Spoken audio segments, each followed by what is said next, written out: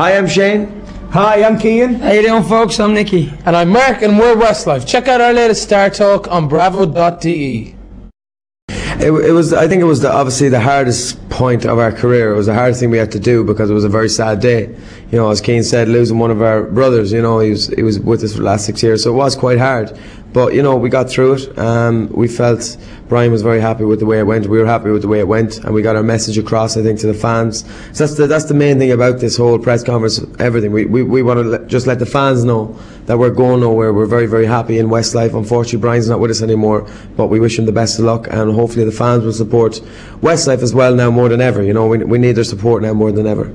Also, um, I think being here today for us um, it was very important. You know, at Fantastic. first, at first we, we felt like you know we wanted to cancel everything and concentrate on tour rehearsals, but then we realised that we need to be here. We need to show the fans. fans yeah. We need to show the fans in the flesh that we're here. We're in Germany and we're here for a reason. You know, if you know we're here for a reason because we've got another tour on. You know, we're coming back here in the summer for a tour. We're going to have another album out next November. There's loads more to come from Westlife.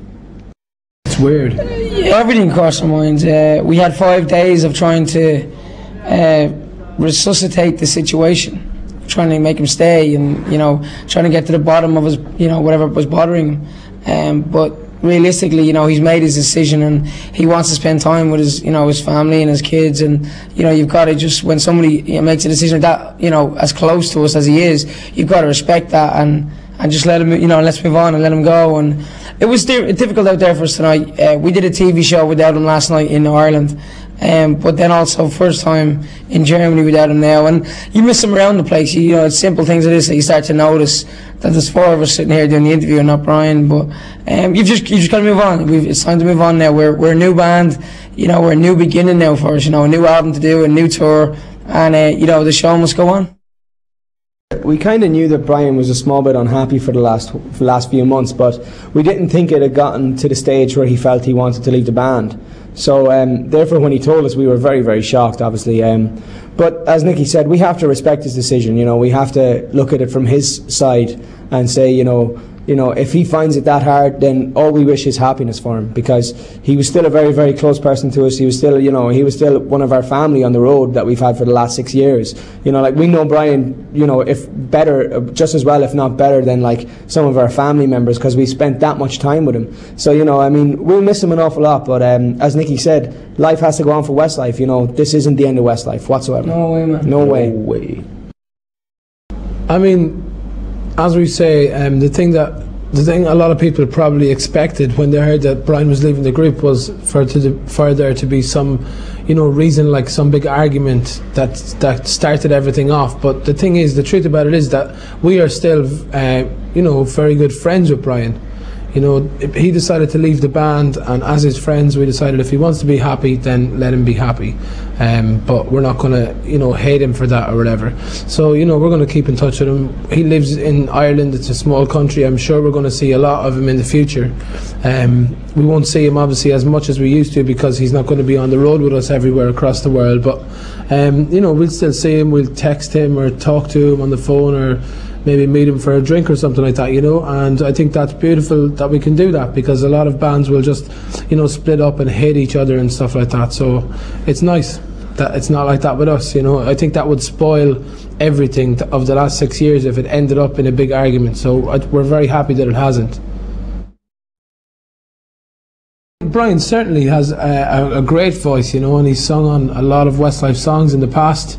Um, but the beauty of Westlife, we feel, is that it's not a band where just one or two people can sing. You know, everybody has their own unique voices, and I think that you know if it was one or two people singing and one of the singers left, you know, it would be a bit weird because I don't know, it wouldn't have the same depth to it, you know. But because the four of us still sing and we feel we sing well, we sing strongly, um, I think that you know it's not going to be as big of an issue, you know, um, because as I say, we can fill in. You know, for instance, our tour that's coming up right now, um, everybody else is going to take over Brian's part. You know, some parts I will do, some part Nicky, some Shane, some Kian, and um, we've been rehearsing it, and it sounds great because, as I say, we're lucky enough to have great singers in the band.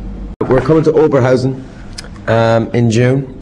Uh, we're going to be here the first week. I think it's the 4th or 3rd of June. We're in Oberhausen, and the day before that, we're in Hamburg doing an uh, outdoor festival. So we're going to be doing our concert at that as well. And it's going to be great fun. We're more, very much looking forward to it, and it's going to be a lot of songs off the new album, Turnaround, and it's going to be a lot of our old hits as well. But it's a very, very classy, slick show. A few suits in it, you know, a few little slick numbers. It's going to be good. The, the song, obviously, it's obviously a love song. It's about. Sorry, Nicky, it's a bit hard. It's about um, it's about uh, a guy who's who's really really good friends with this girl, and um, he's more than he in his own mind he's in love with her and he wants to be with her. And um, he's tried very very hard to, to let her know that he's in love with her, but um, she doesn't seem to get the message. So um, he's wrote this song called Obvious, and he's singing this song to her. So that's basically what it's about. And they started off as friends. Then something happened inside of him.